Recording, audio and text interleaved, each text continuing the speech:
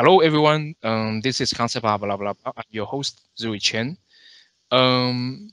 I'm 嗯、今天非常开心可以邀请到嗯、我的好朋友陈航来分享一些就是他在学习之后的一些嗯、工作或者是设计在专业上面一些经历，然后我也我也会呃也试着分享一些我们的呃我自己的一些经验，因为我感觉到我和陈航有各有一些不一样的地方，就是陈航是在一个一年的时间里面去很突击式的去呃练习自己的技能，然后还有就是找到一个很很好的一个工作机会这样。那我我的话，我只是比较分散在一个比较长时间的时间里面去。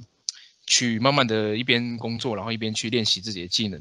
所以我想我们可以，嗯，我们都可以分享到蛮多，呃，关于一些接触到一些海外工作跟国外工作的一些经历的一些经验哦。好，呃，诶，陈航可以跟大家打个招呼吗？嘿，你好，Hello，嗨，陈航嘿，，Long time no see 啊。有点，我也有有你在你在波兰，我要怎么我要怎么适应？要来试训吗？你有试训吗？有我的我的摄影机是在一个很奇，是在笔电上面一个很奇怪的位置，所以大部分的情况下，那个摄影机只会拍到我的键盘这样子。OK，有，就那个键盘会形成很强烈的那个透视线的，所以就会有一种空间感很强的感觉的。这个是那个集中，把那个视线引导到你的那个。对对，有很强的视觉引导线，就莫很莫名其妙。而且我是买 ASUS 的那个电竞品牌，好像是 ROG 哦，所以哇它还会会发光，就是阿素死，等下告你。会发光的，阿素就死在骂你。就是说我们的发光是有它的意义的，结果你这个混账设计师竟然 没有把它看出来。我超讨厌那个发光的，因为我我就觉得这就是在浪费我的电呢。好，这个是秘密，我们不会把它放进去，我们应该会剪掉。我阿叔叔我爱你，我还我以后还想接你案子这样。OK，对啊，阿叔叔，哎，不是阿叔叔，我我记得那个，嗯 a r Show 有接到神送的案子，看的超帅。啊、y e a h exactly，那那是他的他的个人作品，然后 Samsung 很喜欢，就买下他的所有权去，嗯、那个嗯、就是去直接去用在他们荧幕上面的一个算是一个图示嘛。那我觉得，对我们我们这次讨论工作这件事情的话，我觉得这也是一个蛮不错的一个例子，因为其实严格来说，嗯，我觉得也不是说一定要为公司工作，或者是来你可以做任何事情，但是但是当然我们。就像我们上次提到，在最后提到的，就是我们目标，呃，一个一个职业上的目标，还是，呃，先当一个温良恭俭让的优质台老这样子，当一个东亚美工。所以，所以就是我们还是先尽量，呃，我自己的话，我是觉得说会想要先，呃，在一些地方找到工作。那其中其实有的时候有一些方法，就是也也不是方法，就是说有一些路径，像是我最近就有收到一个邮件是。有的公司直接想要购买我的一些呃，我我个人作品的这个，嗯，怎么说呢，就是使用权啊，可能是 license，或者是就是是可以授权他们使用，或者是卖断给他们，就是这也是一个方法嘛。但是我自己是没有这样做，因为我问了，我咨询了一下一位非常非常睿智的一位一位概台湾概念设计师，我们的世界冠军陈长伟先生这样。他说我刚刚本来要提长伟，因为他也有被买所所有权，不是吗？Yeah, exactly，就是就像那种感觉。可是他自己，他可能就是因为对，没错，就是他经历，他经历了这么多，他是我们台湾概念设计师的一个一个一个方向，就是他经历了许多。就是我也问了他关于这个意见之后，他是说你你把这个作品卖掉，嗯，就是当然我我们我们就是一个呃为为整个游戏或电影服务的一个设计师嘛，所以。一可能我们的这个作品是有一定的一个一个价位，就是但也不会说非常高这样子，就是所谓的高，就是说不是说你可以拿它像 NFT 一样，就是卖卖了之后你可以拿去买一栋房子那么多钱，可能顶多就是顶多就是十几万到呃的的这个钱，就是他是他是跟我说你你拿到这个钱好像是是是不错，但是好像没有什么用处，然后你你把这个作品卖断给公司或者是执照授权给公司之后，你可能会受到一些限制，或者是譬如说你的你之后可能在做一些创作的时候，就是要要避开一些这种题材，因为就是不然的话会有一点利益冲突的感觉嘛，所以就是所以仔细想想会觉得，嗯，他也是建议我可能，除非当然我如果除非我真的觉得这这是一个很好的收入，那不然就是还是要考虑一下长远的一些事情。所以我觉得真的是太睿智了，这不愧是我们的世界冠军陈长伟先生这样。他应该听到这边应该会自嘲吧？又要愤怒堕落黑化了这样。我们的几几句无心之言，竟然导致我们的世界冠军堕落堕愤怒堕落黑化这样。嗯，就是谁能想到？一那哎，对啊。不过陈航，你在上一次分享到，你在一个呃拿嗯拿了不少在 Brainstorm 跟嗯还有 Satish 嗯嗯 Satish Kumar 嗯 right 嗯他的课程之后，就是你算是嗯再结合在你在那一年之前已经有练习很多嗯算是花了很多时间去算是打下很多美术基础嘛，然后再加上。你用一年的时间在专注在概念设计的技能，还嗯包含软体啊，嗯然后呃绘画技能，然后也有一些呃各式各样的嗯算是概概概念设计本身的一些技巧，然后你把这些东西结合在一起之后，就是呃找开始去工作，就是找一个工作要求职是这么说，这个嗯。对啊，你可以跟跟我们分享一下你你的这段过程啊，就是 关于第二段 Chapter Two 你的。我觉得你刚刚那段前面完全可以简洁一个 The previous of Chang。Exactly。做前情提要一下，我们可能还可以做个总集篇呢，就是完全就是把原本事情再讲一次。对啊，因为我觉得第一集很多人反映收音很差，所以我一直觉得也许可以像这样一个想一个形式，可以把第一集的资料统整的更有系统一点。然后做个，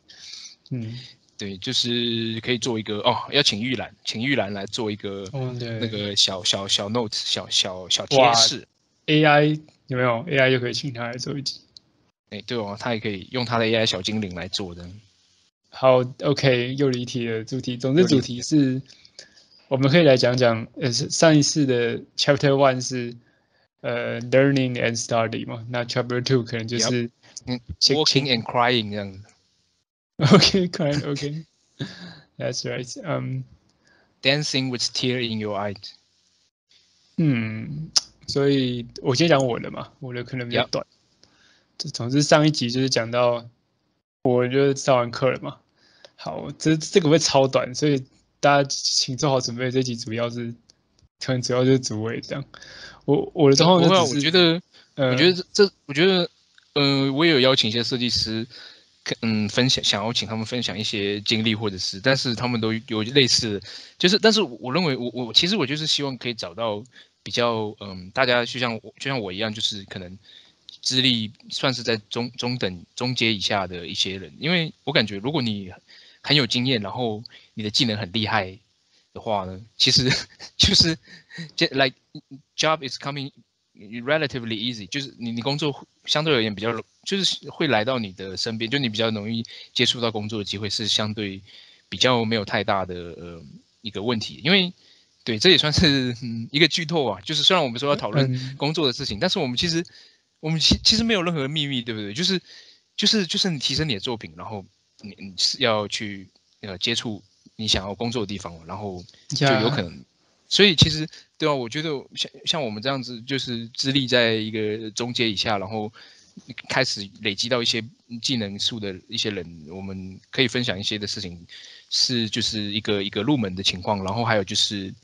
呃，我们而且这是我们最近才在做这件事情，就是最近一两年，所以这是一个现现在的这个行业的一个一个情况的一些一个角一个角落吧，一个一个面向。嗯，所以我觉得这是一个可能对很多。想要进入这个行业，或者是已经达有一定程度的人而言，是相当有价值的一个一个一个资讯哦。嗯，好，那我目前哦，对，对不起，我要打断你。哦，没有啊，没有，不会，不会。呃，总之上一上一次我们就是聊到学习相关的嘛。那总之我花了一年时间把东西学完之后，我呃，我也有听说。有的人会投到 One Pixel Brush，然后 One Pixel Brush 投过去之后，Shady 会给一些学习上的建议，就很多这种传奇经历啊，都是始于投了 One Pixel Brush，然后 Shady 说你还不行哦，你应该要加强什么什么什么。然后他就加强了，过几个月之后，他成为了一个很有名的概念设计师。例如说，Leo 好像就是这样。哦，那嗯，我就想说，好，我要 follow 这些 legend，我要变成传奇，所以我就寄一封给 One Pixel Brush，然后 One Pixel Brush 寄完 s h a d y 竟然是在当个礼拜就回信了，然后可能非常的惊奇，然后他就说，呃，还不错，但是我有一些意见要给，就是 不过总的来说还不错，但是我有些意见，那我会把你放到一个 list，一个一个目录。一个短短的目录，short list。那如果你将来有需要工作，就来找你，就这样。好，那我就会说，哇，就能有 Shady 的建议实在是太棒了，就是我在走的传奇的路啊。然后他就没有回给我了，我直到现在都还在等他的建议。OK，这已经是三个月前的事了。然后，呀，然后我就在等他的建议嘛。等了几天之后，然后哎。Moon Pillar 另外一间其实也是超很屌的工作室，然后我其实不知道什么是 Moon Pillar，我我知道的是他他们的那个老板叫 Ricky Ho，我很喜欢他的作品，然后所以我之前有我是有 follow 他，但是完全不是为了 follow 他，只是只是想看作品而已。结果我就看到哎他有招人，然后我就说哎我要我要去，然后他也是说不行，然后我就建议这这样，然后。我就好吧，那那我就开始去朝他说的建议上去练习嘛。就过不到一个礼拜，他又跟我说：“哎，现在有缺人，你进来吧。”OK，这样。不过他有讲说，当时的情况是他们在找的人需要很厉害的照片合成技巧，然后我并没有那种技巧。嗯，那之后我又进去的原因是因为他们又接到一个案子。他需要是设计技巧，然后哦，我刚好有类似的设计就就进去，嗯，对，我觉得这真的是一个很，我觉得我觉得你提到了很多很很有意思的一个内容，因为其实对吧？我们我们我们在我们作为一个啊呃美术方面的工作者，然后我们可能会觉得非常非常的呃想要得到一个这样的工作机会。但是其实对公司而言，公司也是一直不断的在寻找合适的人才，而且，呃，就是因为公司的目标就是要，要要做一些产品出来嘛，然后也是要赚钱嘛，就是，所以我们我们其实是一个互相，是一个刚好非常契合的状态，就是劳方跟资方，是其实就是彼彼此互相交换对方想要的东西，这样，对吧？那就是所以如果像陈航这样子，有不断的练习自己的技巧，从基本功到概念的技巧。还有三 D 跟一些其他的这个呃比较相对而言比较特殊一点的技巧，可能就是像照片合成啊，或者是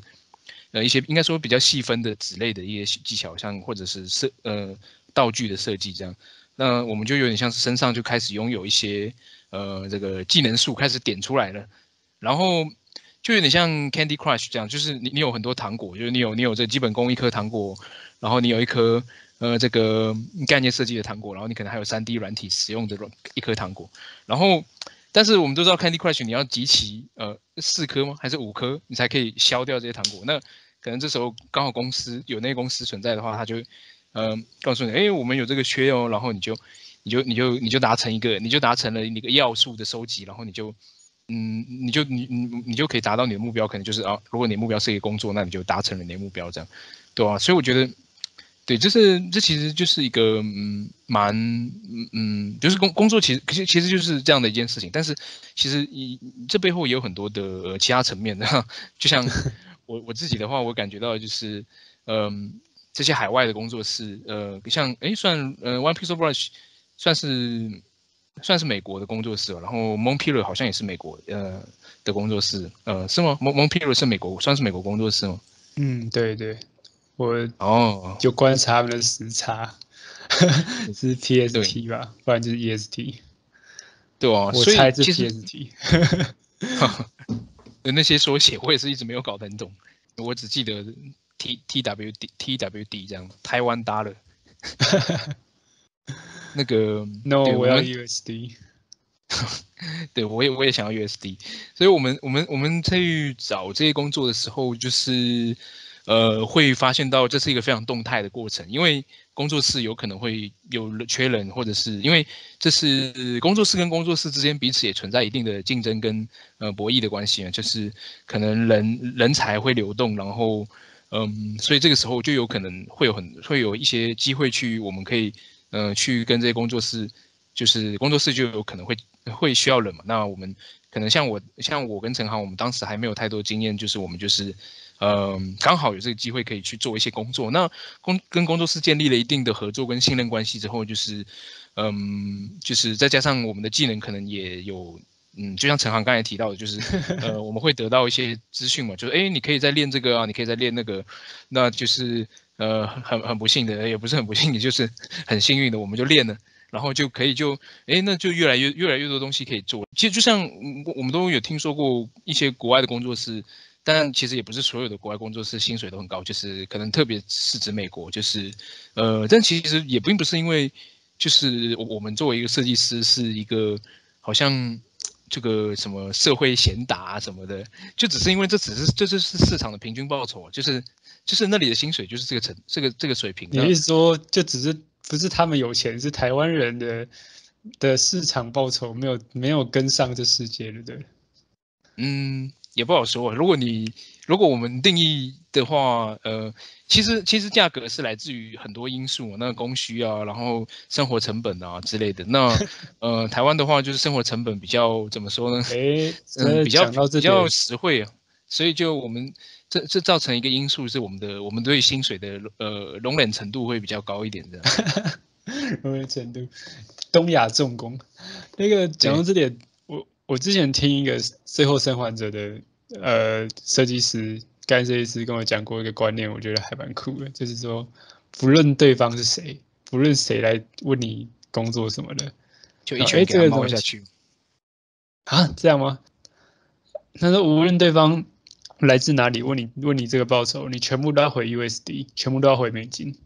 USD。USD 就是 USD，他会问你说：“哎，你一个小时多少钱？或者说你这个案子 flat rate 是多少钱？”By the way，flat rate 是呃扁平的论论件计酬的意思，flat rate。然后然后呃，你都要回是美金，就用美金为单位去回，这样子才会提高你的那个价格，因为他们在比较的时候也会拿其他美金的案子去比较。哦，对对，就是比较能够给一个嗯共用的参照系吧，就像我们使用重量的单位或者是呃长度的单位一样，就是对啊。那然后还有就是，我我觉得会嗯有有一个嗯有这样的一个情况的时候，就是因为嗯游戏这个行业或者是也包含电影在内，就是我们的在做的事情有点像是为呃这个虚拟。嗯，电脑里的内容就是 digital content，呃，然后它是 for entertainment，就是为了娱乐去做的内容，呃的这个产业，它其实非常非常的，它是一个非常 remote 的产业，就是它的它没有什么，它没有太多实体的呃硬体的要求，因为就可能就是一台电脑，然后你可能甚至你可以用一台笔电，那你你的东西都是在都是在软体层面去操作的话，就这个时候人才的流动性是非常好的，就是。呃，我我们非常容易可以接触到世界各地的工作机会，就是只只要公司有这个想需求，然后我们也有设计师有这个想法，就是比较容易能够在至少在物物理空间上没有什么限制，所以，嗯，我觉得我们的技能达到一个程度之后，我们就还蛮容易去接触到嗯世界各地的工作机会。那考虑到世界各地的的商业的情况。跟经济的发展会有不一样的薪资水平，那我们就可以达到一个这个梦寐以求的情况，就是可以在台湾，但是可以可以有机会接触到美国的薪资水平。那根据 Glassdoor 的统计的话，像呃美国的概概念设计师的薪资水平是在七万，呃常见的中位数是在七万五千。美金一年这样，然后但是这只还只是一般的概念，就是在美国的话，因为因为产业的发展程度之后，会开始出现一些不同的职级的。那呃，我我这个统计是还没有列入 senior concept artist，也就是资深的设计师的薪水。所以呃，我们可以看到七万五千美金是一个呃，如果是在台湾的话，就是这个我们每天就会笑笑开怀的一个薪水，这样。每天吃着火锅唱着歌，每天都可以吃火锅唱着歌这样。哎，那我有个问题，就是好，那提到价钱这件事情，假如说我现在是个 junior concept artist，甚至不是假如，我就是一个 junior concept artist 啊。那你说你是像全行 junior？我所知道的就是 全行 junior，我有知道如果如果我接到美国的案子。那但是重重点来了，我只做过美国的，所以呃，好，那我想问你，就是因为你在世界各地都有工作经验嘛，都有接案经验，你有什么可以举例？例如说，哎，波兰，我如果波兰来问我，我应该怎么开，开多少？那如果英国来问我，我应该开多少？你有这样的一个资讯吗？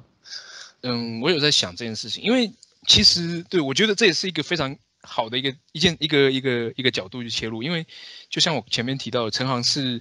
嗯，在锻炼好很扎实的基本功之后，然后用比较突击式的方式，在一年之内去打造自己的技能，然后再去接触到比较理想的工作的一个薪资水平。所以这是嗯，这这个这是一个非常非常好的一个呃也明确的一个目标。但是我我在我自己我 我在自自己工作的时候，我没有那么明确的目标，而且我也不太。我我是我算是一慢慢慢慢累积一些经资讯也好，或者经验或技术也好，所以我我在一开始并不是很清楚知道说哦，原来就是我我我我可能连一开始我要去 Glassdoor 上面去了解各个地方的薪资，我都没有做这件事情，我就只是我我一开始的切入点比较像是一个就是一个没有太关注市场的一个 artist 的角度，就是我只是在想我想要做什么，就我我觉得啊我想要做一些。嗯，我自己从小玩到大的游戏那种、那种、那种感觉，那那味儿，我想要做那种感觉，对啊，所以就是，所以我一开始没有想太多钱的事情，所以我在嗯，但是我就是慢慢了解到之后，但就像你前面提到，呃，设计师会觉，因为因为我我因为市场的价格是来自于，以其中一个要素是来自于流动性，就是呃，人才可不可以很自由的流动这件事情，那但是。确实有一些要素会限制，因为就像我，我虽然我们前面提到设计师是非常容易跨出自己所在的工作的这种国家也好，或者是经济体也好，或者是一个范围，能够接触到海外的工作。虽然艺术家的或设计师的这种工作属性有这样子的一个属性在里面，但是也不完全是因为。国对很多国家而言，就我自己有一个呃，我以前也有提过几次的例子，就是我我有一次接触到一个加拿大的一个呃一一个电视剧就的一个一个前期最前期的一个概念设计的工作，我那时候就觉得很开心嘛，但是后来那个工作就没了，因为然后那个 set designer 就是找我的那位 set designer，他就跟我说，因为因为 you know 就是因为因为税务优惠啊，就是我们不能随便有一些工作的类型，我们依据某种原因某种税务的法律的优惠，我们如果我随便外包给一个一个外国人的话，那可能我们就会在就没办法拿到税务优惠这样。嗯，所以这是个要素。遇过一样的状况，我们都，但其实其实其实一方面，虽然这听起来有点伤感，就是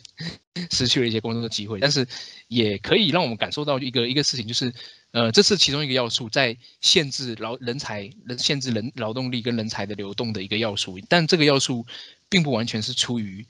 Bad intention 就是这是因为像加拿大来来说的话，加拿大就是像像非常有名的游戏重镇 Montreal，它是有一个呃这个有点像某种蒙蒙特利尔韩国语的一个人，他就 就是。想要说，哎，我们要发展游戏业，要发大财，这样子拉进来打出去，打进来，对，游戏人人才什么游戏进得来，人才呃不人才进得来，游戏卖出去这样。然后，但但是那个时候蒙特利尔还没有，就蒙特利尔还没有这种游戏业的东西，他他就只是就当一个韩国语这样子，然后就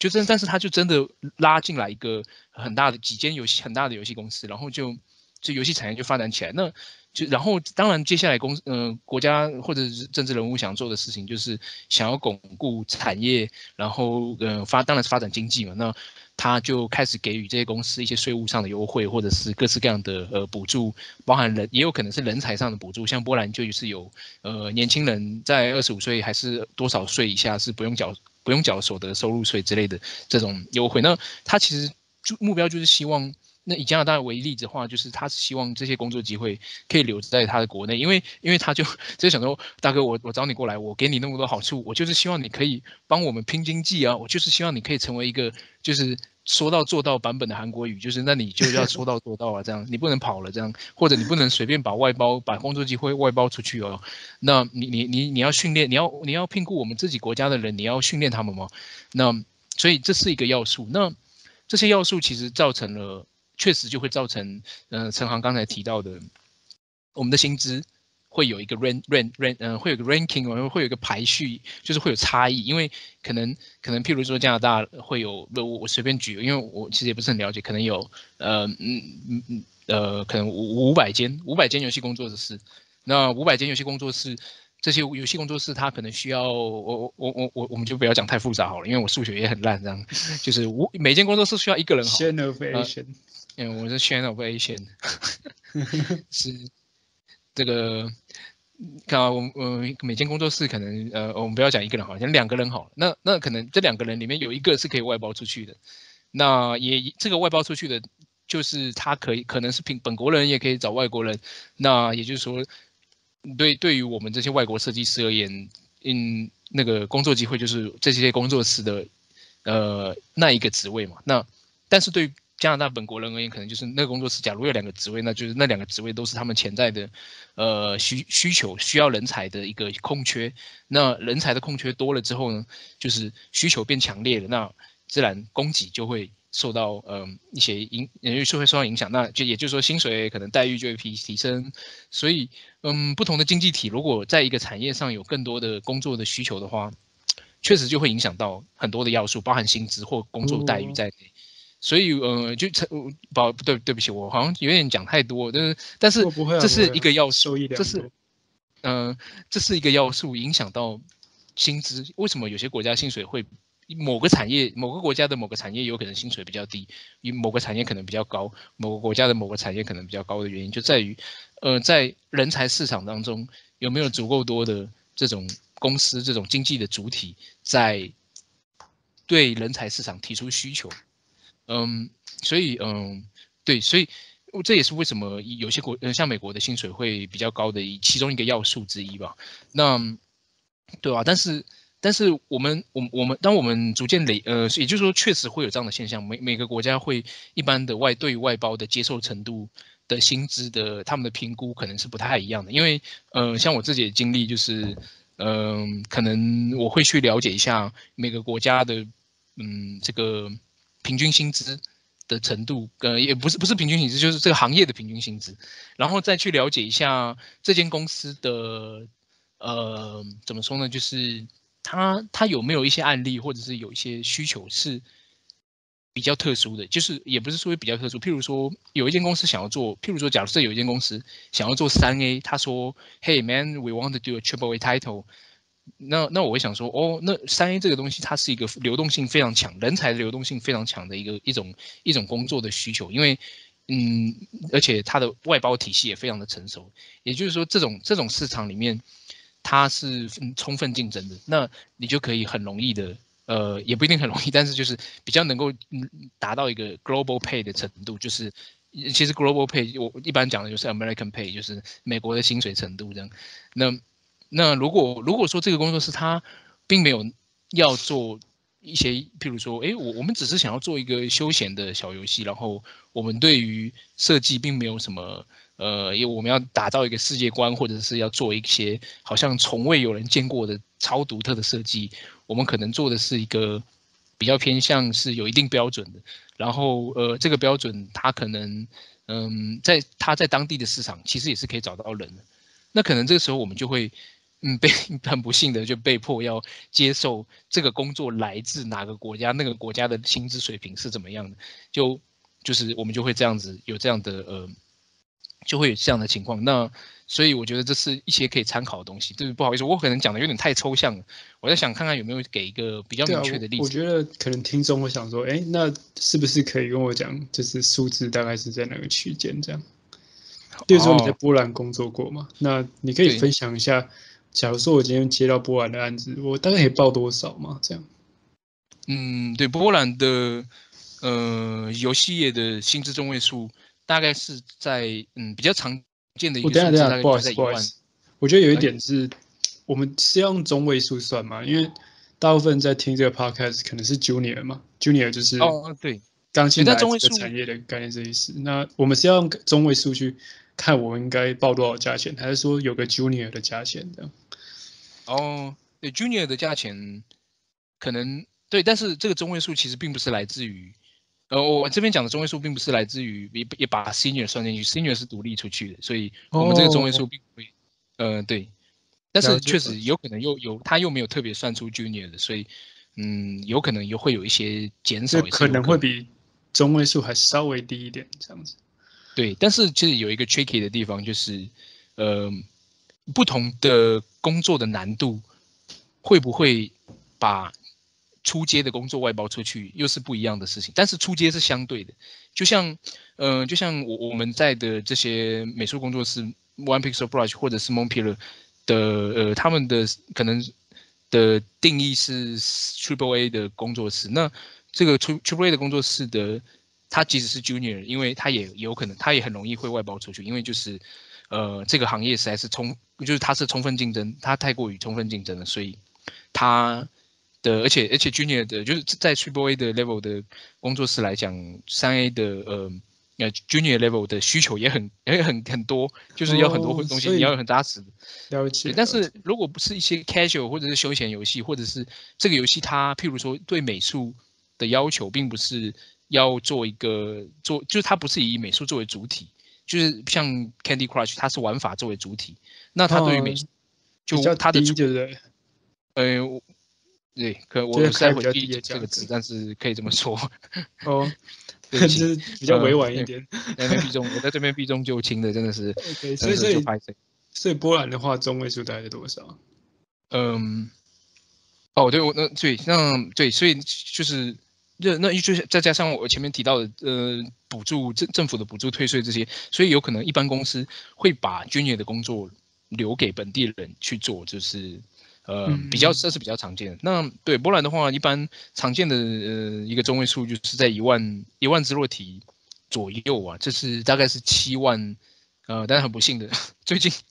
最近婚杯 K 给啊，就是最近 波兰币贬值变六点五啊，对哦，啊 TMD 啊，所以呃变成六万五台币，时薪吗还是月薪？就是你们在。就是论讨论价钱的时候是算我我们是讨论的时候是用时薪啊。那如果你好奇，你们也是用时薪吗？还是你们有其他的区间？对我一般我之前在做一些波兰的工作外包的时候，呃，那个时候是我，嗯，我还我算是我算是一步一步呃还没有。觉我那时候我觉得我的技能还没有完全可以达到胜任三 A 专案的一个算是一个转一个一个转折的地方，但是就是那个专案帮助我累积了不错的技能，所以呃，但是当然我我在签约跟谈谈工作的当下，我觉得我的技能数还不是很完备，所以我那时候谈的是月薪，就是我呃就是每个月然后是两千四百美金一个月这样，嗯，然后呃就是这是呃 net 就是说。他不会再扣额外的税金，他会把这个就是这个 exactly 这个数字就是 转进我的账户这样子。所以呃对，真那但是我觉得完全，如果你是更有经验的人，或者是你完全可以谈到更高的薪资。但是然后我觉得另外一个可以参照的点就是在于说，不同国家的工作会有不一样的工作文化这样子。那呃波兰的话。呃，波兰是一个相对跟台湾非常相似的经济体，就是以经济规模而言，还有薪资跟收入水平。那但是但是它的游戏业发展的比较好嘛，所以就是薪资你会发现略高于台湾一这个薪资水平一个一个一小阶这样子。然后它的工作文化也是比较嗯，可以说是比较劳逸结合，因为它是欧盟的一部分，所以它会有这个 因为哇，你在帮你们公司 recruit 吗？Exactly, like welcome to the 呃，Eleven Bit Studio recruiting process。嗯，Yeah，你要顺便帮。哦，我刚才讲的不是 Eleven Bit Studio，就是我刚才讲的不是 Eleven Bit Studio 的薪水，因为我的老板特别跟我们说不要把薪水讲出去，这样，所以一个拍拍水，这个是对吧？我其实不是不想讲这个数字了，但是当然，我刚刚有讲 One More Level，那要剪掉啊。呃，应这个应该不用，因为我们没有签 NDA，然后关于薪水这个方面的。然后嗯，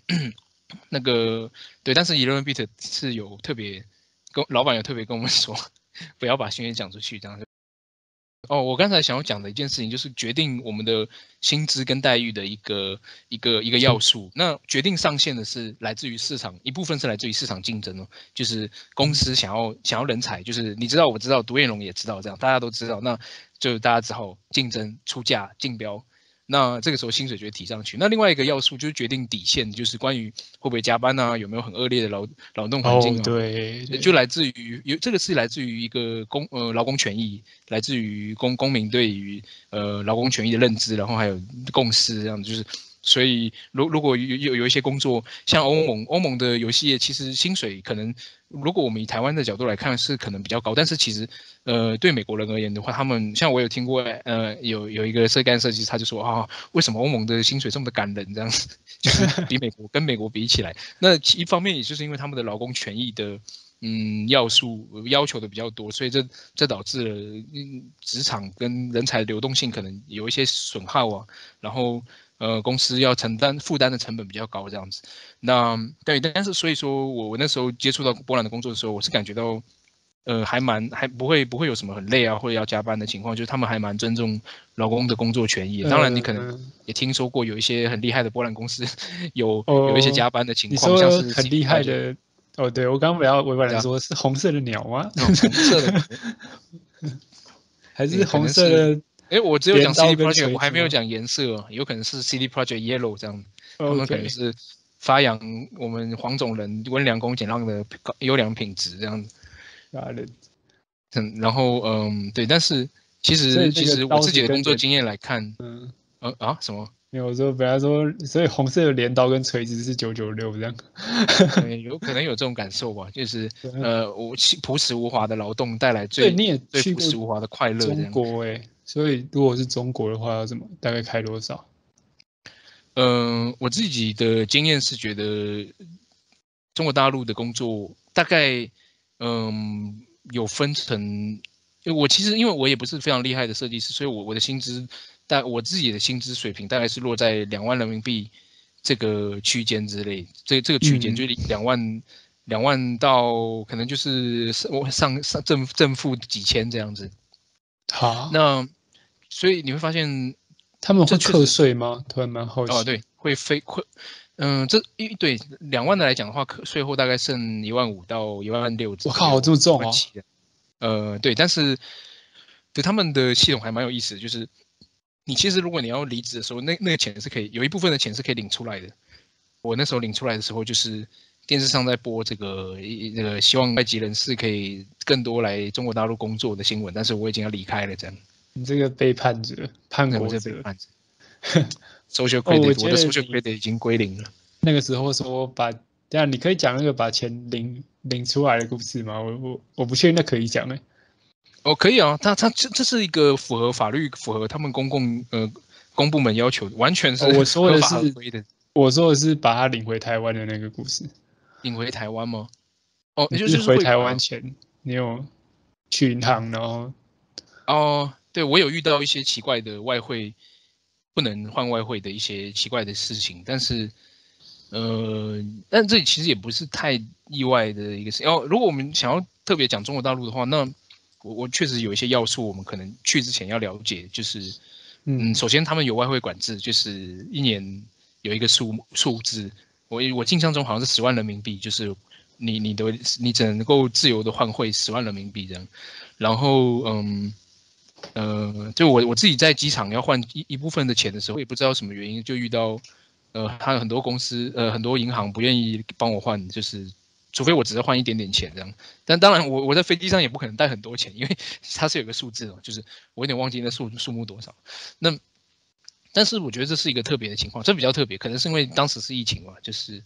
呃，但我也不知道，因为就是你也知道，这个中国大陆那边有很多的这个。它的政策变动非常的快，然后而且很及时，因为就是没有什么没有什么阻挠阻挠嘛，就是这就是滚动式修正，对，滚动式这样，所以我我那时候可能就不小心被滚了一下这样，所以我也我也就滚完之后我就觉得，哎，到底是，但是我后来呃还就就多问几间银行，还是找到地方可以换这样，然后中中国大陆的薪资的话，一部分就是你会发现你的薪水好像三十趴、二十趴都会被扣税扣掉，甚至再加上如果你薪资更高会扣更多的。但是这其中有很多一很大一部分是会存到他们叫做一些公公积金里面去，然后你在离开的时候是可以申请把钱领领出来的这样。但我不知道，其实我并不是太清楚这个东西长远会有什么影响，因为包含你之后如果再回去工作，是不是要呃再重新走一些流程。这个我就并不是太清楚，那那但是，对吧？这次确实是一个蛮值得注意的一个因因素，因为它直接影响到我们的薪水，而且蛮大一部分的，就是 超过百分之十的的一的一个比例这样子。然后，嗯，但我们可以发现，以以以台湾的角度来讲的话，就是我我因为毕竟语言上没有任何障碍，然后呃工作签证也是非常容易取得，所以。呃，是一个是一个一个一个一个不错的一个从如果只是从这两个角度切入的话，是一个不错的嗯工作的一个一个一个差一个地方哦，对，哦哦，我刚刚这样讲到钱，但是我仔细想，嗯，就是呃，但但钱前面还有个阶段，就是你要先就是找到工作才能有钱嘛，所以我就有点好奇，因为我的情，因为呃怎么讲，很多人问我我是怎么找到工作的，那我的回答都是。就是寄 email 嘛，然后你就去找那些找那些啊，对，有名的 art director。我刚才忘记提到一个一个这个就是对吧？其实我们如果你对一个工作感兴趣，你就寄 mail 就可以了。就是对，其实我我们还是需要主动去寄一下。对，然后我我讲这点的原因是因为。因为我的经个人经验就只有记忆没有，我没有其他招哎，就我就只有这一招。哦，我知道你的状况是，哎，你还知道一些，比如说波兰，它有一个他们比较常用的招募网站，美国有吗？我不知道，就是你你可以分享一下这些哦，你说国家招募网站到工作的一些可能的一些方式，或者我自己的经验这样子，你可以分享一下吗？因为我只有一招啊，我记得你有很多招啊。没有，因为因为我没有很，我并不是很了解，我是慢慢，我是我是在三四五年的情之过程当中慢慢去 接触，所以就就我就慢慢尝试一些方式，就是而且就是有的时候也不是我刻意要这样做，就是忽然就发生了这样，像像啊当然寄没有，我是主动寄我的 offer，呃我的呃不是 offer，我我的我的 resume，我的我的作品直接变甲方，直接变甲方可以的，就像浩哥一样，啊那个。嗯，这我我就直直接寄我的那个简历给 One Pixel Brush 的，我直接寄给夏弟，就所以，因为我我就觉得那个工作，这这工作室好非常厉害这样子，然后因为而且 Shadi 也，呃，在网络上他是一个非常非常有点像千禧世代的孩子那种感觉，就是在网络上会分享很多的资讯，所以我会已经对他建立了很很好的印象这样。那后来也有一些像 One Piece Brush 这样非常厉害的工作室是。呃，他们透过网络上我投放的作品主动找到我，这样，所以，嗯，这也是其中一个方法。那这个这个这这其实就是还是脱离不了我们个人的一些技能。你讲到这个，我就想到就是学，就是我刚刚提到那个在 One Pixel Brush，现在是在 Microsoft 工作的那个概念设计师，他有讲过一招，就是就是 s a t i s h Kumar，然后他讲过一招，就是你要去洗流量，所以。然后你要借我你的演算法去让 FB 帮你分享给那些 Art Director，所以你要做的事情就是有频率的，例如说一个礼拜一次，或者是两个礼拜一次，它是一个礼拜啊，或者是你更屌，你可以三天一次，如果你不用工作的话，去发一些作品，或者你不用睡睡觉的话，频率比较高的话，就会比较容易被演算法注意到。然后再来就是你一次可能不是发一张，你要发。个两三张或一系列的作品，一个就是这样。他他有发现，如果你是发作品，是发一系列一组的东西，而不是只有一张的话，会比较容易被那些 art director 圈子里的人互相转发这样。哦，对，因为只有一张，他们可能不会特别转发那一张嘛。但如果是一组的话，他可能就说：“哎，你看 Shady 这个这个蛮酷的。”然后就，对啊。因为我觉得可能是因为一组的作品，它代表的是一个一系列的 vision，就是一个设计师自己的见解，所以这个见解就像一篇文章一样，它比较能够传递很多的资讯。因为呃一一，我觉得单张的作品有点像一个一个一句一个诗一句诗歌这样，就是它它有它文学上的美感，但是可能它的资讯量或者是。它有点像是一个感受的抒发。但是我们我们作为设计师的话，我们在呃这个这个工业，这其实是一个工业，所以我们其实除了要像艺术家一样很有诗很很诗情画意的有一些 vision，有一些想法，我们也需要做很多呃这个 get your hand dirty 的一个。对，但但是一个礼拜一次。然后又一次要好几张，真的是蛮挑战的。我之前有想过要挑战，然后我还跟学，就是刚刚那个艺术家，就是 Satish Kumar 讲说，哎，我要学你，就是我也来，我也来做这个。然后我做一个礼拜就放弃。我觉得，我觉得 可以。我觉得我是我自己最近是一系列的作品，但是我是一个礼拜贴一张，然后最后可以再来一个总集篇，这样就跟就跟动漫一样啊，就就跟动漫一样啊，就是那种那种现在好像比较少总集篇了，但以前钢弹。什么钢弹 C 的不是播一播播总集篇？最讨厌总集篇，每一次有 Code Geass 反反逆反逆也是这样子，就是播一播播总集篇这样，对吧？那个那个对吧？我我觉得可以这样，然后再分享一些你的制作过程，一些 breakdown。我刚刚可以再小离题，就是我我们刚刚不是聊一个接触到工作机会的方式对你的曝光，网络上的曝光，Linking Art Station。呃，如果是走日系，可能是 Pixel。对，我觉得 Pixel 我工作 Linking 超赞，就是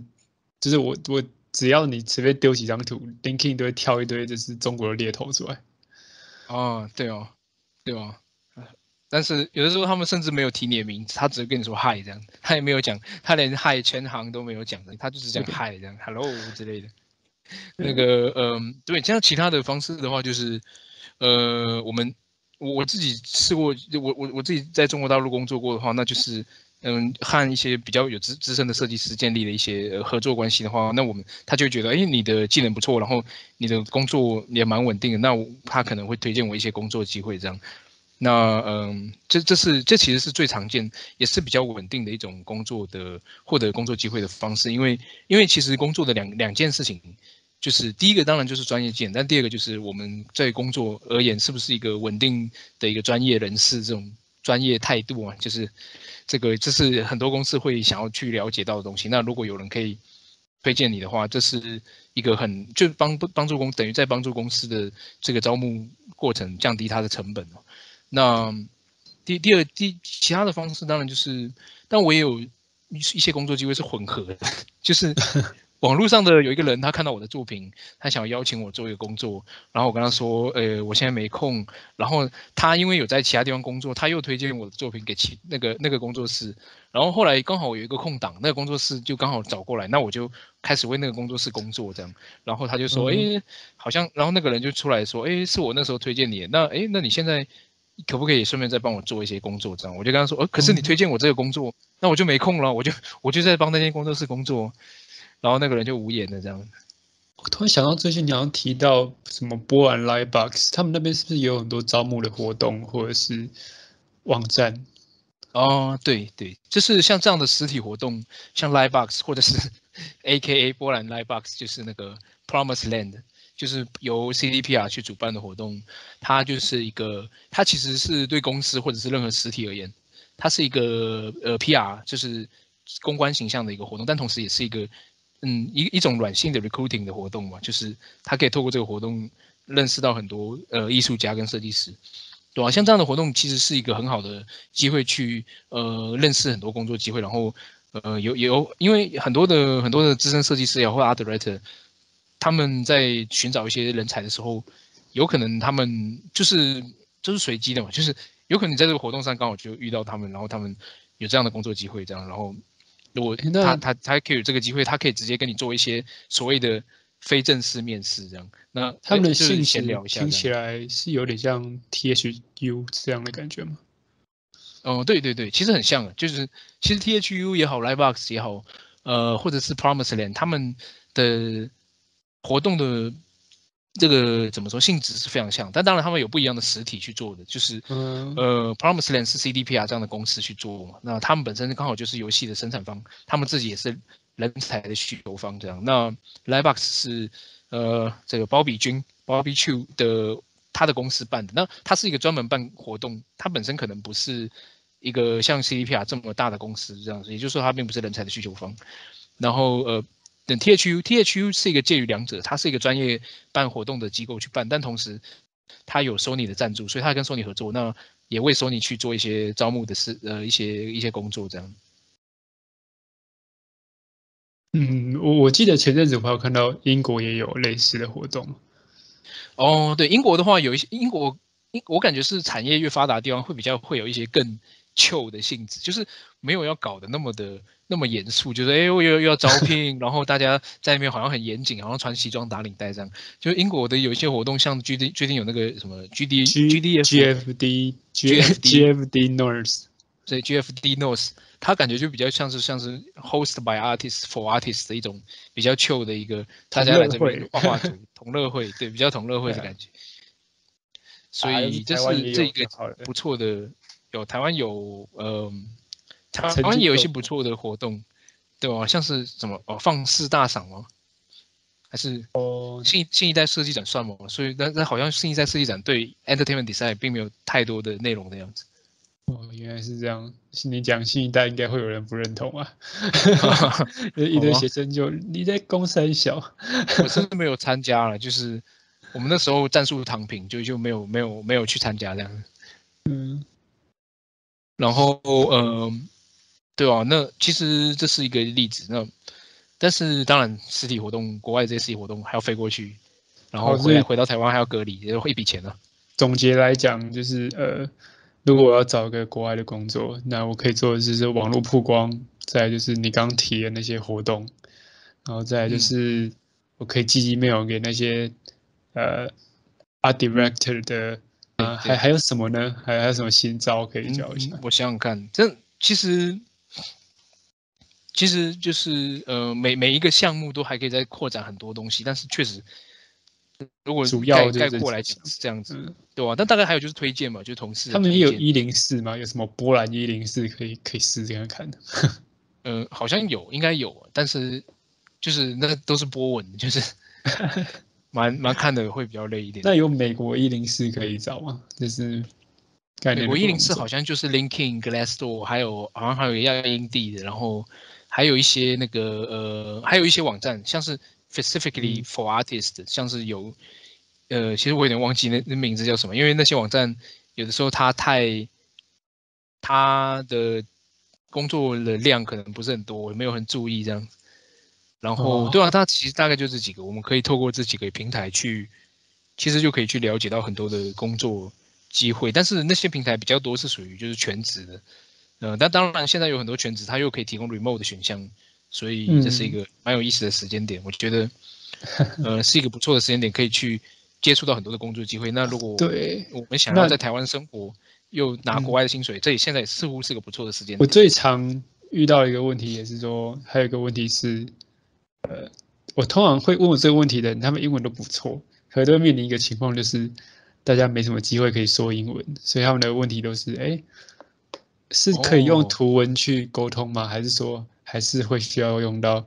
就是面对面交谈之类的。我的状况先讲好了。我在 Moonpier 的状况是，我们有时候还是会就是用通话的讲一些案子的事情，或是第一次的时候也需要类似面试这些过程吧。我不知道那算不算面试。那你的状况，你遇到的状况呢？因为我只有遇过一间，我只有去过一间嘛，所以没有办法可以回答这个问题。我遇到是，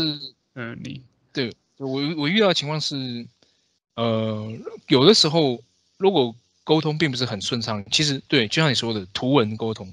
就像就像我遇到一个情况是那个，呃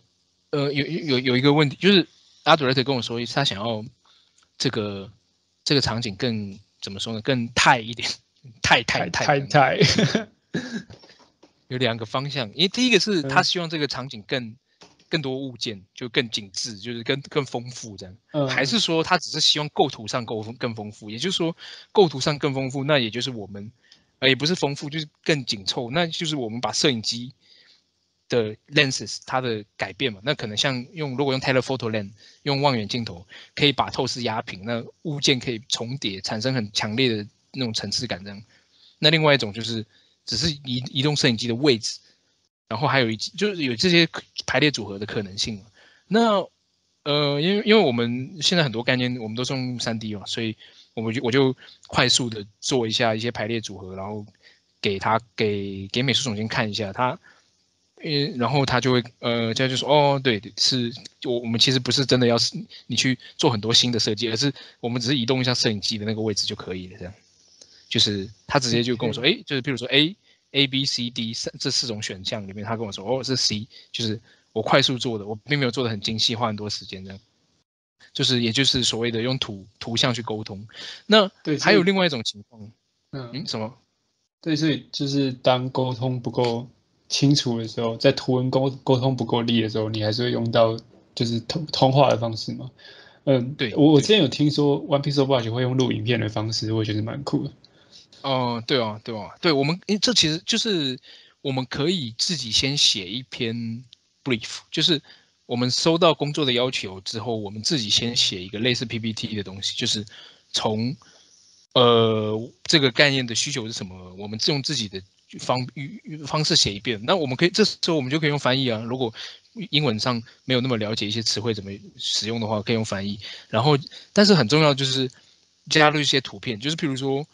我想要一个这样的构图，然后可能就我找一张一张图，一个有一个山上面有个城堡，然后可能这个城堡在什么四分之一、三分之一的位置，那我就说，我我要这个构图，那我要做的事情可能就我把这个城堡替换成一个城市，然后这个山的这个这个山山坡的三角形这个图形，我也会把它替换成一个城市的这种这种，就是我要用这个构图，但是我要做的事情是把内容替换。那我做一个这样的简报之后。呃，我我然后我我会说，我当然这是视觉上的嘛，那我可能会说，我我们的功能就是，呃，我们这个项目我自己我的觉得我可能觉得，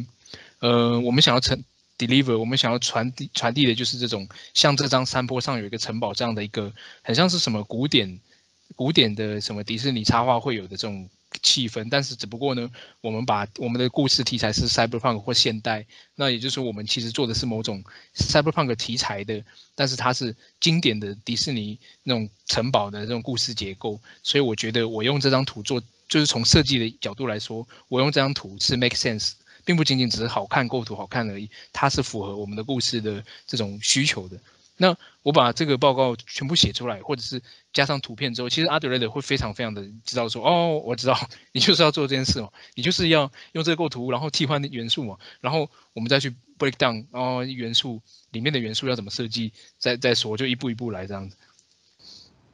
就是先写一个这样的简报，那那这样子就会避免到沟通的问题，因为阿德雷德会知道你的想法跟。你会，然后会给你一些 feedback，然后甚至我们完全不用讲到任何一句话，这样，真的感觉到你五年来的工作经历真的是有够丰富的，这都是踩的坑呢。对啊，所以我这五年到底经历了什么？你先去兔将吗？还是梦想？哦，对，这个我很幸运的被兔将收留了，然后就在那里待了大概两年左右，然后就再来呢，就快终于兔将要来一个免费的。国外海外员工旅游的时候，我就我就离职了，就是真的很伤心。那你离职之后是去怎么找到下一个工作？嗯，我那时候很我对一些科幻或者是一些呃更有 CG 感的一些项目还蛮感兴趣的，就是所谓的我们了解到我们喜欢的那些流行文化，以以前是叫次文化嘛，但现在已经感觉不像次文化，就是那些 ACG 呃就是文化的一些东西。那我感觉。呃，梦想在做的一些东西更有这种属性，所以我就很想，因为我就我就觉得这是这是我们的我们自己感兴趣的东西。那我们一开始会做 artist，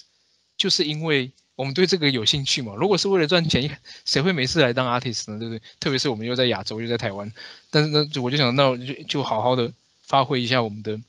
宅之力，这样子要就是就我就我就去想说，梦想有在做很多广告专案，然后这些广告专案它会。把这些文化呃文化符号，就是动画或者是游戏的符，作为一种符号来行销产品，所以我觉得是当时最有可能可以让我做到一些这种这种产品的呃。可是我就想说，哎，那我既然那么喜欢这些东西，那我为什么我不直接去做这些东西就好了？就就我觉得我喜欢游戏，那我就直接去做游戏就好了。你那边，因为你只有跟我提到一个专案，所以我不清楚你在那边的经验是这样。哦，对我有做过呃。一个手游叫《雪鹰领主》的手游广告，然后还有呃 Acer 的电竞品牌的广告，这样。我有印象，我的心是属于阿苏斯的。然后呃，然后就有还有其他几个专案，我不知道有没有公布了这样。那对吧？大概这样子。对，然后我在中国大陆工作过，然后我在广州跟上海做过一个一些算手游的案子，然后就呃，但是那时候的老板怎么找到中国那些人工作的？哦，哎，就像你前面提到的，其实蛮蛮单纯的，就是我我直接投我的简历这样子，然后就投完简历之后就进入一些面试啊这些阶段，然后就就过就到了。那哎，对啊，在其实跟找在中国的中国大陆找工作，其实也是蛮有意思的一件事情，因为呃有很多测试，他们有很多测试要做，包含我有些朋友也和我提过，就是好像他们的测试相当的。嗯，怎么说呢？艰艰苦艰难呢？我我自己也有这样的经验嘛。但是我觉得，呃，这是数学题吗？就是呃，那那我之前在那个台北的一间叫中华网龙的，有做到数学题，可是那应该不是数学题啊，那比较像智商测验。逻辑哦。对对对，他想知道你你是不是你是不是亚亚洲人可以引以为傲的一个一个新 新时代的设计师这样。呀，所以中国是要做什么奇葩的测试啊？好，那好，那我们来讲，嗯，好，嗯，对，关于关于在中国大陆工作，关于在中国大陆工作，我觉我真的我是觉得是一个蛮蛮不错的一个经经历，就是因为因为当时我其实并不是，因为虽然说我们我们每天呃练习，那也不一定每天啊，那有的时候玩游戏嘛，那但是就是一段时间总是会练习，那就是。是在概念设计、画画、设计画角色也好，画场景、画这个画那个。我我我有一点分散我的这个我自己的方向，就是我要练习有哪些技能。然后嗯，我也比较，就是我觉得虽然说练了之后会有一些进步，但是我搞感觉不到那么大的进步，就觉得我还没有办法。就诶，我跟就是从我自己目前的那个时候的状态，跟要能够接到，譬如说一些很很棒很棒的美国工作室的工作。好像我找不太到那个路径在哪里，就是我看不到很明确的一个可能的一个路。但是当然，当然我我本身我还是喜欢绘画跟设计，然后还是有一个不不错的工作机会。那那我当然还是就每天练嘛。那当然在中国大陆的工作机会，让我有机会呃，让我有机会碰到一个更。明确一点的一种游戏的制作的规范跟呃要求吧，但也也不一定是很明确了，但呃很很 harsh 很严格是没有错的。那但是这个东西就刺激了我，让我看到了一个一个一个我应该可以要私立的一个方向，这样就是我是透过这种工作的过程中去找到这个方向。那当然，其实呃这个粗暴的言论大可不必这样，就是你其实其实大家可以不用那么累，就是找到那个找到一个课程，像陈航这样子。找到一个合适的课程也是不错的，这样啊？什么？你说什么？我就我其实超懂你那个感觉，就是超级有共鸣的。因为我最近在问 P 了，也是就是我在接受更严格的检视，然后更高要求，然后同事也都都每个强的跟鬼一样，就是大概是我们经历同样的状况，但是可能你们的老板会在言语上比较过激一点，我我们这边老板言语上比较温和一点，但是要求应该是很严格的。对哦，所以我真的觉得，如果有机会可以直接这样子去成长，是最最理想的状态。那当时我其实我连这种可能性我都没有想到，我就只是觉得，哦，去中国大陆工作有有这个成长的可能性。然后呃，当然不只是技能，还有薪资的成长，哎，这是非常重。你现在在利友手下，就是应该也是学到超多东西吧？嗯，对，也是学到蛮多东西的。嗯，就是。呃，对啊，因为 One Piece Brush 就像呃，大家如果有兴趣，就可以看很多夏迪分享的影片，就是就如同他所分享的，他给予设计师的指导都是他会录录制教学影片，或者是很明确的要求，因为他们自己就是非常非常有经验，做过很多三 A 专案的厉害设计师，这样，所以呃，他们能够给出的反馈都是非常有价值，所以我就是我觉得这这真的是就是最理想的学习状态，就是 You get paid well。嗯，就是也不一定是很 well 了但是以台湾的薪资水平来讲是 very well 的。然后你又可以成长，然后你的你你你你得到的反馈很明确，要求很明很很明确，他在往你把你往呃一个好的状态推进，这是一个真的是蛮理想的状态。对我我嗯嗯，每次讲到这个话题，我就觉得有点感伤，就是呃。我觉得这个美术这个行业可以很明确的分别，就是有一群人是他找到一个方式把雪球滚起来，然后就一直滚，就越来越强，然后越来越有钱这样。哦。然后离我越来越远。个巴菲特起来了。对，我就啊，不要离我越来越远了，然后就越来越远这样。然后我就是穷忙。然后我觉得真的走美术就是把雪球滚起来，后来真的会好走一点。嗯。嗯，我感觉我自己是从比较从算是一个，我我自己是比较从一个铜臭味的角度切入，因为就是我感觉是因为产业的发展比较大、比较成熟，然后就是那些公司在赚很多钱嘛，所以他当然有很强烈的动力要把这些事情搞得很清楚，包含人才的培养，从教育这一端都要开始，因为因为这就是一个系统这样。就是我要要那个永续经营才可以永续剥削，这样就是资本主义的高墙 才可以越叠越高。那嗯，台湾的话相对是比较浅叠的经济体，所以我们比较没有那个机会发展很多不同的产业，可能就是单纯几个产业这样。那可能对于我们这个工作类型的设计师而言，我们所工作的产业就相对没有到发展的那么成熟或那么有规模这样。那当然，呃，就像我们前面提到的，现现在的时代很方便，所以。大家是可以往不同的呃地方去发展工作机会的，嗯，对，那 那我我在我在中国的工作经经经验就是，呃，一开始接触的就是我直接投递简历，然后有一些比较大的公司，然后会有很多测试，然后呃，有我还遇到一个最厉害的，就是他给我同时做两个测试，然后做完同时做两个测试之后，又再给我做第三个测试，然后做完第三个测试之后，还要给我反馈。对，大概做了大概三，呃，不不不，大概做了一个月左右，就是一个非常非常相当的相当不客气的一种面试方式，就是他想要挑战你的极限啊，就是看看你是不是可以呃不断忍耐，成为一个冷中之冷。我有些朋友他去跟中国大陆公司接触的时候，就会发觉哇，对方对方好像不是要找找一个那个设计师，好像是要找一个火影忍者这样，就是看你能不能够。心字头上一把刀，这样就是，但是当然，我觉得这是一个一个一个一个情况，就是因为，呃，中国大陆的公司在现在发展，就也不是现在，就曾经，呃，有一个不错的成长期的时候，呃，呃是这就是他们要快速的做很多产品，然后赚也赚了不少钱，所以，他中国大陆的公司是亚洲或者中文圈，就是中文以中文为主要语言或的一个工作的。呃需求方就是人才的需求方而言，他们是能够给出最高薪水的公司。也就是说，就就像是以以台湾或者假假设我们只会只讲中文的话，那他们就是中文的市场里面能给出最优质的价格的买家。也就是说，那这个时候他就有很强的谈判的筹码，因为譬如说中中国的公司很很容易就可以给你三十万人民币的年薪，大概呃就就以我自己的经验来讲。呃，那然后那三十万大概就是嗯，三呃一百一百二十万台币嘛。那如果是一个设计师工作两三年可以拿到这个薪水，算是还不错的薪水。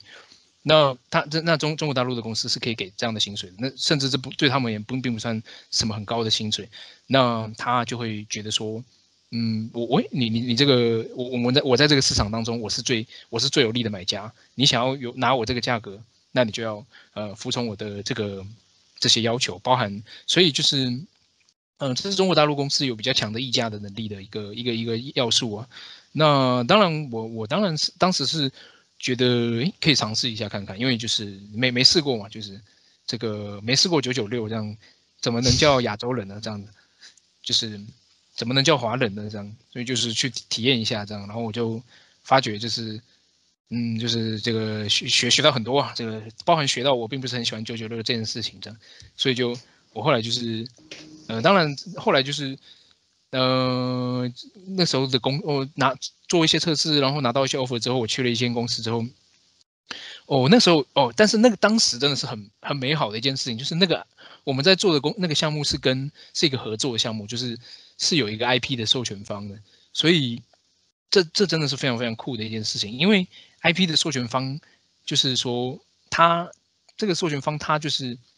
他们懂怎么样用纯粹的，就是 IP，就是一个故事加美术，就是这是最理想的状态。对我们设计师跟我们 artist 而言，最理想的，因为他们就是靠这个东西就可以赚钱。所以，我我们做这个游戏跟 IP 授权合作，那 IP 授权方会告诉我们很多，你要怎么做出的设计是符合这种 IP 授权的商业模式，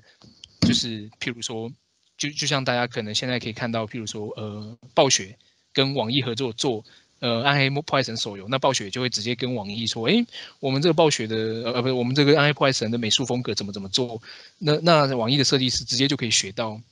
呃暴雪的设计师的经验，所以我当时也是类似的情况，当然呃，这个项目没有正式公开，所以我我可能没办法讲是什么样的项目，但就学到很多东西。然后再加上有有这些 IP 方的创意总监跟美术总监给的反馈，就是我们当时就很像在打。打网球，那当然我在中中国大陆嘛，那可能就像是打在打乒乓球，就是我我丢一个很酷的东西过去，对方完全接得住这个球，他完全也是概念设计师的想法跟美学的，他就会把这个球打回来，就哎哎很酷哦，那我再给你个更酷的意见，然后我收到之后我就说哇靠，也太酷了吧，原来还可以这么酷这样，那我就就是做起来就觉得很开心这样子，就是我就我就一直进一直进步一直做，然后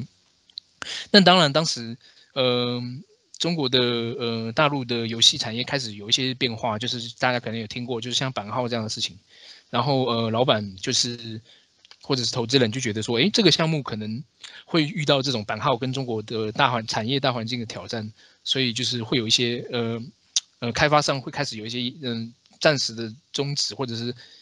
就是把大家分散这个风险嘛，就是因为因为游戏业作作为一种嗯科技业，它最大的成本就在于人才。那它这个假如我们做的东西没办法上市，这等于是成本就是无法收回了。那就开始有不一样的调派跟工作的安排这样。那我当时就是觉得说，嗯，开始我就觉得说我希望我我还是很希望可以做一些我们我一样是从小玩到大那种游戏。那我就。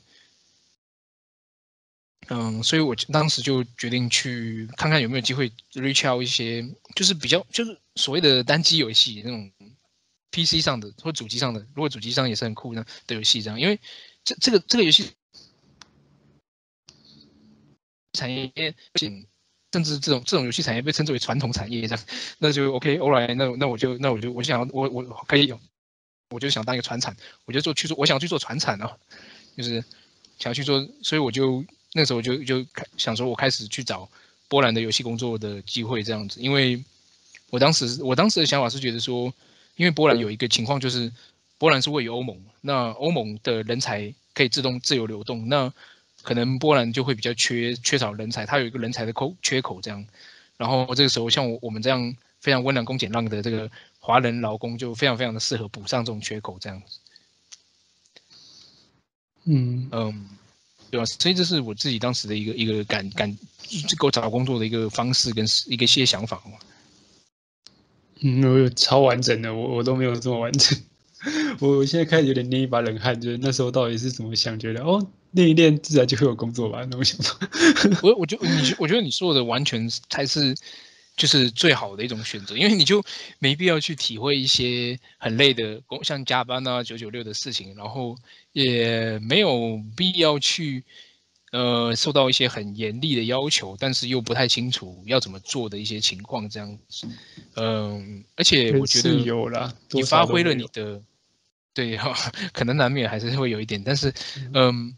而且而且我觉得你你你我们就是。试着发挥，因为我我们在市场上的话，就是试着发挥自己的优势嘛。那你的优势就是你我你你你创造了一个你自你等你你等于你创造了你自己的优势，你你 pick up 那些技能，然后你又练了英文，就是这两个结合在一起，就是非常。我是没有，对我我也蛮常得到这个问题的，就是我就是英文怎么练这个问题，然后我就我我很难回答，因为我通常有点像是哦，我完全没有练，我只是看人。我看了一堆影集跟一堆呃 podcast，哎不对不是对还有 podcast，还有嗯 stand up comedy。我觉得重要是 stand up stand up comedy，因为就是站立喜剧。因为看那个你会想要复述那个笑话，然后你就自然的学英文。所以我我学英文的过程完全是没有刻意去学的。那哦，我没有回答这个问题。那我就很好奇，就是呃，如果今天有一个艺术家，他英文可能没有好到可以。工作的程度，那你会怎么推荐他？怎么把他英文练好？这样？嗯，这这其实是一个蛮难的问题，因为这涉及到教育这件事情。因为教育本身也是个专业嘛。你要先抢一波台湾教育吗？没 有没有，我意思是说，呃，我们会觉得说，设计师，比，也许说我们在业界工作，我们我们懂怎么做设计，那我们就是不是就可以教？但并不是，因为教又是另外一个，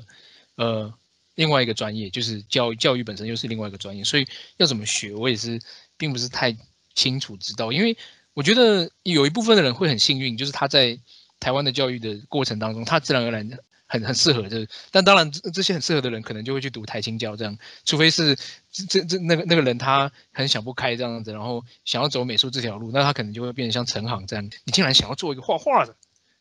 是这是非常非常难得的事情。就是那当然，如果你还有一种情况就是，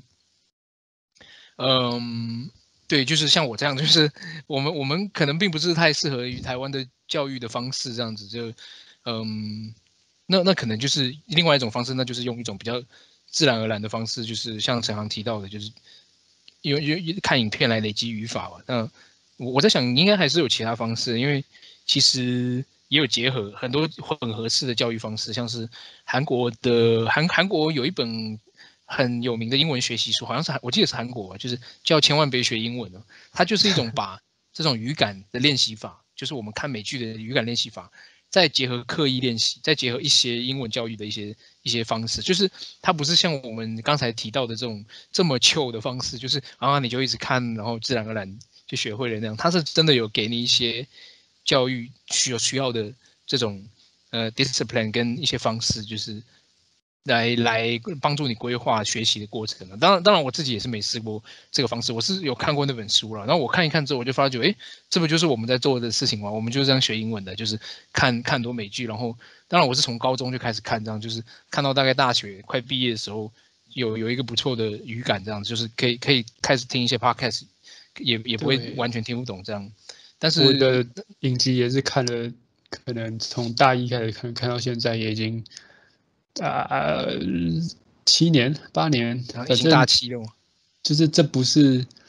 这不是一个短期，这个方法不是一个短期可以促成的方法，感觉上。嗯，对。但千万别学英文这本书，它是用这种方法，但是它又结合刻意练习这个要素，所以可能可以更有效率的达成这个目标。这是我我所知道的一个学英文的一个一一个书啊，就叫千万别学英文这样。我自己最近。我有点想要加强英文，也不是有点，我很想加强英文，因为我想要跟我的同事、还有我的老板或者是我的同学有更幽默的互动。嗯，就是我是一个 fan of stand up comedy 嘛，对不对？自然想要讲一些好笑的话，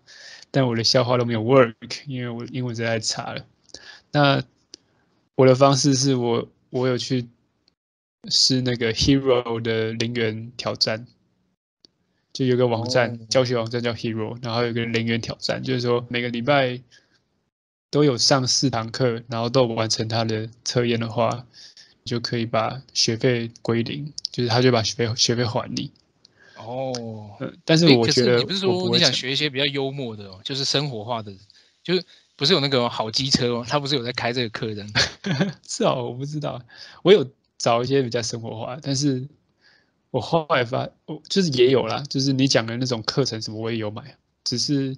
那个可能太零碎了，我就没有。嗯，好，既然讲到这话题了，我自己试过去背那个就是多义的单字吧，那我到现在只记得一些，像什么胖球是准时，就是又胖又丑这样，然后我就记起来。好有创意哦，我没有这种的。卡吐斯，卡吐斯是仙人掌，因为就卡吐斯这样。卡吐斯。我有买那个 VoiceTube 的一些课程，那我也有蛮推的 Lily 的日常绘画，我真的蛮常用到。还有 Chris 的二十二小时打造基础文法核心力，就是我觉得我们在我在说英文的时候，有些文法常讲错，那我就想说，哎，那不如一劳永逸的把它学一学好了。然后我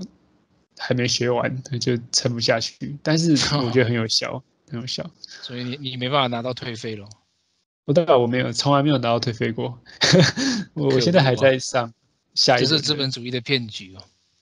我我不觉得自己可以，一开始我就不觉得自己可以拿到，只是说他有那个那个锁链，就是锁着我，让我至少有个理由可以上课，这样让你有制约这样。然后对，然后另外一个 tip 就是，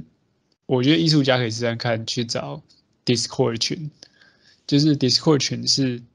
一个很国际化的平台嘛，Discord 里面有各式各样国家的人，那你可以去加英文的英文区的 Discord，看你喜欢电玩，还是干脆你就找一个艺术相关的 Discord，那里面都有聊天室嘛，那你可以进去随便拉了一个几句，就是去练你的口说。呃，像是 The Arts Clan 是一个，然后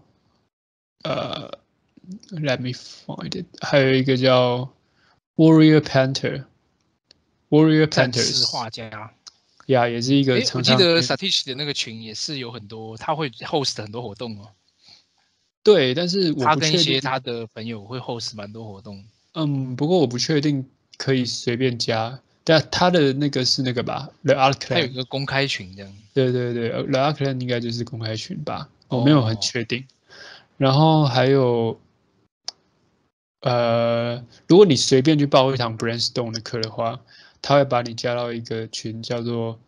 Officially on Official Brainstorm Discord。你也可以在那边找到愿意跟你聊天的外国人，就不用去特别去花钱报什么口说课程，就你就亲自去认识一些外国人聊聊天，就可以有那个免费的无限就是英文练习机会了。所以，呀，练习看看能不能认识一些，嗯。就是阴阴谋论爱好者这样，他们就可以跟你分享很多资本主义的骗局，conspiracy，用英文跟你讲，Yeah，感觉也蛮有趣的，嗯，对，嗯，对吧？我记得之前好像还有那个有一个群啊，什么 CG Core 嘛，但是他那个群好像现在变成那个 NVIDIA 那个美术总监自己的群了，这样。哦，是哦，所以是不可以加了，只能够，哦，可可以加，好像还是可以加，还是公开的这样。哦，但是不像之前，因为之前是很多人共同经营，所以比较有很多活动还是什么的。Got it。嗯，总之这些东西都可以成强英文。我呃，或者是听英文的 podcast。嗯，对哦，对哦，我觉得你有推荐是一个蛮漫长的 podcast 吗？嗯，我觉得我们之前有提过的那些像 barbecue 的。还有呃，Art Department Podcast 是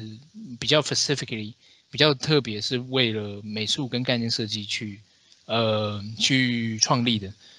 然后好像还有一些像是那个 career career，就是他的意思是工作那个职涯嘛，但是他那个他是是 K 开头，就是他是一个哦，我 career，但是改成把 C 改成 K 这样。就是那个我上次贴给你的那个，我觉得我说主持人长得像拿球。你说。有点科技的科技业的感觉，诶，不是，是那个主持人长得很像拉球那个。哦，我想起来，拉球。然后我说另外一个人长得很像那个坏人嘛，对不对？然后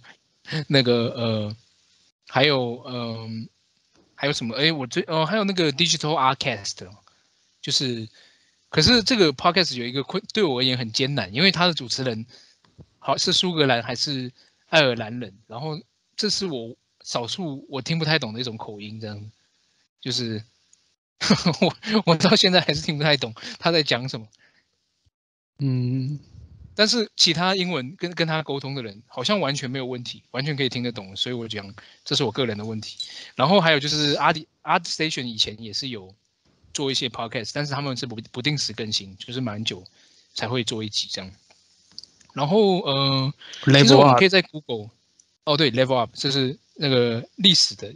已经是过去的历史，但是还是可以重复听一下，可以得到很多启发。特别是我蛮喜欢哦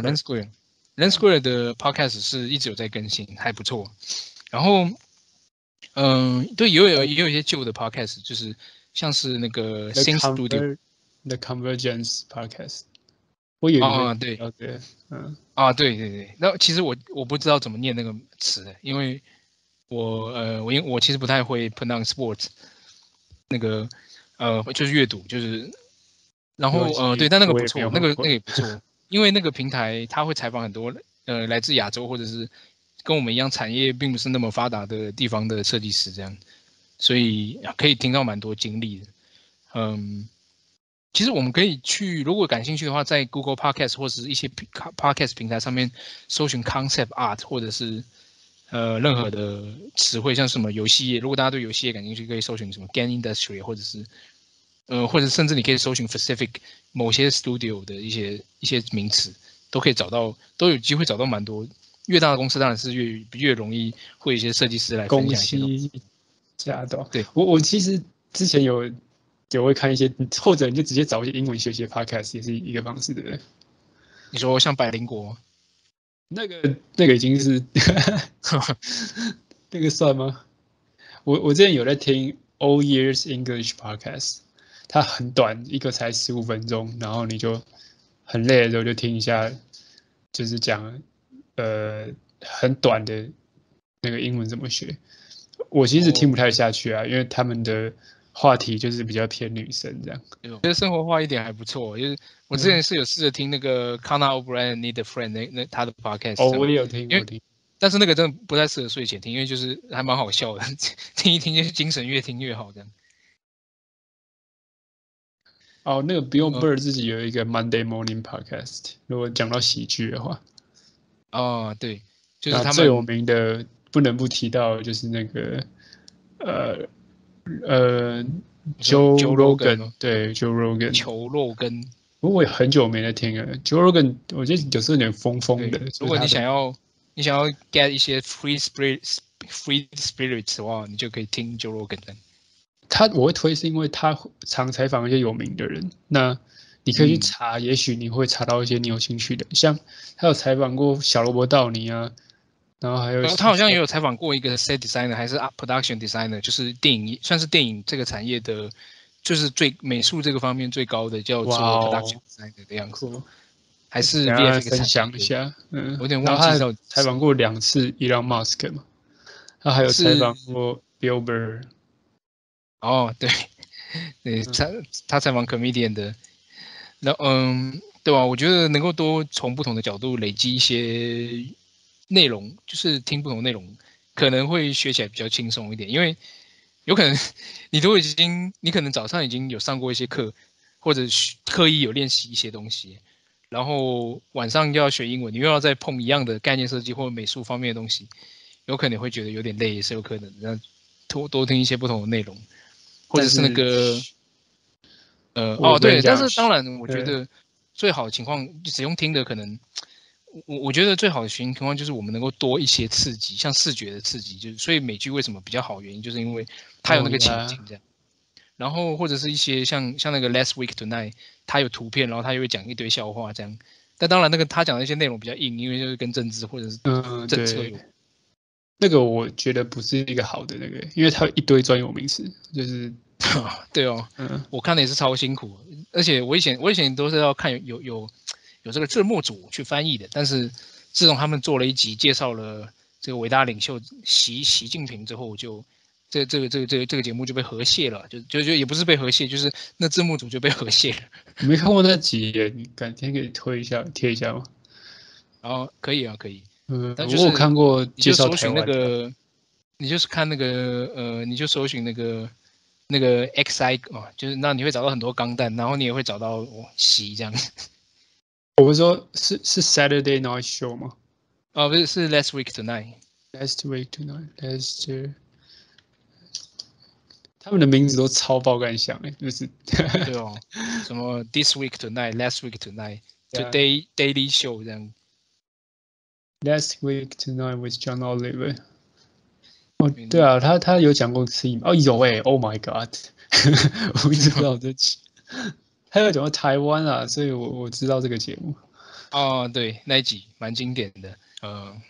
嗯，非常感谢陈航可以来这里跟我们分享一下他在学习之后的呃工作方面的一些经历，然后也跟我讨论了很多，而且也问了我很多很好的呃问题，然后让我有很多启发跟想法。这样，呃，希望也我们分享的一些内容也可以带给听众有一些想法跟一些工作职涯规划上的启发。这样，那陈航在最后有什么想要跟大家分享的内容吗？或者是没有欸想一些东西。好，其实我我们个人的美术愿景跟公司的要求未必是契合的。那呃，我觉得这是两回事啊。就是公司公司其实它是一个财团法人嘛，它是一种组织形态，它就是为了创造利益，它是为了股东创造利益而存在的一种组织形态的。那员工其实严格来说算是公司的一种一个一个组成部分，但是它并不是公司呃的的的目标，就是说公司并不是为了员工去存在，它是为了股东去存在的。所以，我们在工作的时候一定是必然有可能会发现到这种嗯这种矛盾的地方，就是我们可能会被要求加班啊，或者一些东西，然后嗯变成会这时候是进入一个比较负面的劳资关系这样子。但是呃，我觉得比较健康的情况下就是。嗯，我们我们把自己的愿景，我们自己的美术愿景跟公司的职涯、跟专业的还有获取利润这两件事情分开来看待，这样就是公司会去用他们的标准来检视设计师跟 artist，那是因为他们的目标，他其实其实他们没有什么，就是公司它是一个工具，所以他就是希望可以创造利润，他希望可以做一个产品，做一个游戏，做一个电影，那呃他希望设计师可以提供呃为这个产品服务这样那。我们的技能，我们自己对自己的美术的想法是完全是我们我们跟跟公跟公司的标准是没关系的，所以呃对，但是当然赚钱还是很重要，就是至少对对我们而言很重要。这期真的是资讯量丰富的一节，就是 嗯感受海量的干货，是不是？嗯，说就是这就像就像最近一直在播那个嘛，呃。中华一番嘛，就是大给大家一直狂吃鲍鱼，那个那个那个那个人这样子。对 你就是鲍鱼大师诸位。我用传说中的厨具这样。哦，我就不要再玷污传说中的厨具了。嗯，好，那先这样这样。对对，拜拜。拜。